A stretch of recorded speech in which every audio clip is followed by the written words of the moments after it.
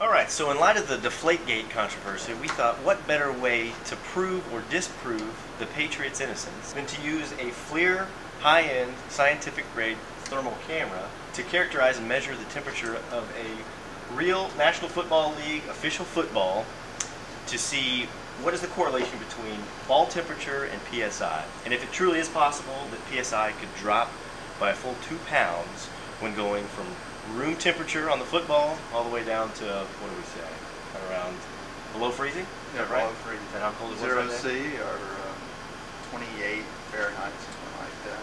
So we went out and bought an official football. We put it inside of a environmental chamber so that we can accurately monitor the temperature and ensure that we drop that temperature fairly quickly. And uh, we've got a live FLIR image up here on the screen in our Research IR software. And let's play back the video, Brian. And so we started up, I guess it looks to be somewhere around 86 Fahrenheit, and we started cooling the chamber down. And as the chamber comes down, you see a little better contrast here in a second. You'll see the needles starting to drop. It's right around a little bit above 12 psi when we started.